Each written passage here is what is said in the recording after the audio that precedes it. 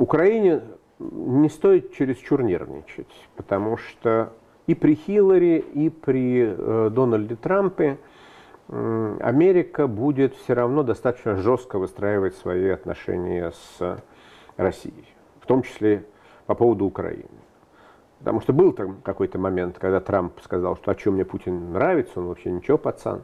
Но потом э, поправился. А вот то, что он делает э, в Украине, мне не нравится совершенно. Посмотрим. Эм, хотя вот так вот по определению мне уже приходилось об этом говорить, ничего нового не скажу. Есть такая закономерность, что э, политики, представляющие демократическую партию, они в большей степени идеологизированы, если угодно. Для них, для американских политиков, э, демократов, они все демократы, имею в виду, те, кто представляют демократическую партию, э, которая, ну, скажем так, чуточку левее стоит, э, левее от центра, э, чуточку может быть более идеологизированной и чуточку более зациклена там, на неких либеральных ценностях. Вот эти политики всегда являли собой большую проблему для России, а раньше для Советского Союза, нежели склонные быть весьма прагматичными в тех или иных ситуациях представители партии крупной буржуазии, крупного капитала, республиканской партии. Потому что, смотрите, Эйзенхауэр, например, в 50-е годы республиканец, эм, был, э, по сути дела, первым президентом, который растопил лед холодной войны. Именно при нем Никита Хрущев приехал э, в Соединенные Штаты, был триумфальный многодневный визит, потом вот такой толщины книжку выпустили в Советском Союзе, которая называлась «Лицом к лицу с Америкой». Это была такая книга, написанная лучшими молодыми журналистами э, оттепельной э, времени, э, которые, наоборот, там как могли нахваливали Америку и писали о том, как много надежд Советский Союз возлагает на улучшение отношений с США. Потом пришел молодой, либеральный, просвещенный э, Джон Кеннеди, демократ, и э, чуть до Третьей мировой войны не дошло. Ну, Помните, да, Карибский конечно, кризис, да? да, да. И, и Берлинский кризис, и Карибский кризис. И при его преемнике Линдоне Джонсоне, который занял пост президента США после убийства Кеннеди, Э, тоже отношения были очень сложные, напряженные, ну, прежде всего из-за Вьетнама, а также из-за Ближнего Востока, потому что именно при Джонсоне произошла шестидневная война, которая совершенно изменила баланс сил на Ближнем Востоке. Израиль, э, по сути дела, возник тогда в нынешних границах, даже еще в более широких границах, э, чем сейчас. Арабы союзники СССР были разбиты на голову, и так, в общем, от этого поражения никогда и не оправились. И это все, в общем, э, отравило, если угодно, отношения между Москвой и Вашингтоном. Потом приходит республиканец Никсон, а затем его э, преемник э, Форд, и там разрядка, подписание всяких соглашений об ограничении стратегических наступательных вооружений, соглашение об ограничении противоракетной обороны, о предотвращении ядерной войны, э, полет «Союз Аполлон», э, сигареты «Союз Аполлон», э, завод по производству пепси-колы где-то там Союз в районе Аполлон. Краснодара между Краснодаром и Сочи, сейчас не буду врать, но тоже по американской лицензии построены, и многое-многое-многое другое. Потом опять приходят демократы, Картер, в полный рост встает проблема прав человека, а, и все заканчивается бойкотом, а, инициированным Соединенными Штатами, бойкотом Московской Олимпиады. Отношения опять падают там на очень низкий уровень. Дальше Рейган, и казалось бы, ну да, Рейган в некотором смысле победитель Э, в холодной войне, но для того, чтобы победить в холодной войне, он сначала мирится с Горбачевым. Он опять начинает налаживать хорошие отношения с Советским Союзом. Затем это делает его преемник Буш. Дальше. Советского Союза нет. Приходит уже на, на его место Россия, Российская Федерация.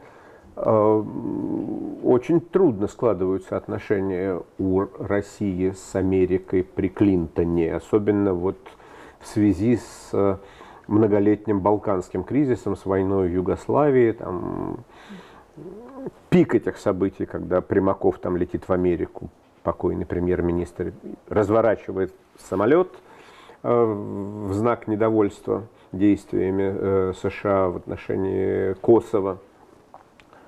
Потом появляется Буш, республиканец, заглядывает влюбляне в глаза Путину, что-то там видит, и опять вроде как отношения начинают улучшаться. И Америка, кстати, именно при Буше начинает так сквозь пальцы смотреть на то, что э, в России шаг за шагом потихонечку происходит э, наступление на демократию, линия поведения Вашингтонской администрации, что бы ни говорилось при Буше. Слушайте, там, это внутреннее дело России, нам это не нравится, но мы в это не вмешиваемся. Э, у нас есть общие интересы, а в это мы не лезем. А, и все заканчивается э, российской агрессией э, в отношении Грузии в последний год э, президентства Буша. И, и, в общем, американцы и это тоже кушают. А при Обаме отношения опять, при демократии Обаме отношения опять на нижней точке, а, в том числе потому, что вот с первых дней возникает э, история о путинском полном почему-то неприятии Обамы. И вот этот вот знаменитый эпизод, когда Обама приезжает в Москву, а Путин устраивает ему такой нарочито туристический прием, когда там, принимает его у себя на террасе подмосковной резиденции, там бегают какие-то половые в э, красных шелковых расшитых рубахах, Э, с сапогом раздувают самовар. Э, Путин, несмотря на то, что на часах там что-то 11 утра предлагает э, Обаме выпить самогона и там, угощает его какими-то экзотическими такими деликатесами. Майкл Макфол, тогдашний советник президента по всем вопросам, связанным с Россией, с Украиной, впоследствии посол в Москве рассказывал мне, что тогда Обама был настолько недоволен, что он демонстративно даже глотка чая не выпил из чашки, не прикоснулся ни к чему. И вот эта вот тогдашняя встреча, она задала в некотором смысле такой, э, камертоном была, задала тон всем остальным контактам. Мы видим, что Обама э, Путина ни в грош не ставит, а Путин по этому поводу злится, психует, Э, пытается доказать, что он заслуживает к себе отношения. Я думаю, что такого вот подобающего отношения, как лидер великой державы. Америка не хочет его признавать лидером э, великой державы. Э, и э, я думаю, что в итоге все-таки, все-таки э, Для Украины лучше, чтобы была Хиллари. Пусть она, конечно, э, женщина не молодая, и пусть за ней тянется шлейф разного рода прошлых прегрешений, ее собственных и ее мужа. Но э, мне кажется, что она э, будет более цельную и правильную политику проводить. Тем более, что по одной из версий э, Виктория Нуланд может играть существенную роль в ее окружении. Виктория Нуланд? Виктория Нуланд, да. Интересно. Ну, Что? Виктория Нуланд э, начинала свою э, карьеру при вице-президенте Байдене, который, э, собственно, ее заметил и начал продвигать. Э, муж Виктории Нуланд э, э ученый, историк, специалист по международным отношениям в Соединенных Штатах в 20 веке э, является сейчас едва ли не самым уважаемым, крупным идеологом неоконсерваторов. Именно он, вот многие говорят, что кто-то там сказал, что если будет Трамп, то я буду голосовать за Хиллари, я республиканец. Это сказал Боб Каган, муж Виктории Нуланд. Он сказал, что э, Трамп для меня, для убежденного республиканца, э, абсолютно неприемлем. Если он будет кандидатом, то я буду голосовать за Хиллари и своих единомышленников тоже призываю э, голосовать за Хиллари. Помимо всего прочего, это еще, на мой взгляд, карьерная э, заявка на, на то, чтобы и сама Виктория Нуланд э, заняла какую-то серьезную позицию или в Госдепартаменте, или в э, Совете по национальной безопасности. А Боб Каган, он как раз правильный пацан.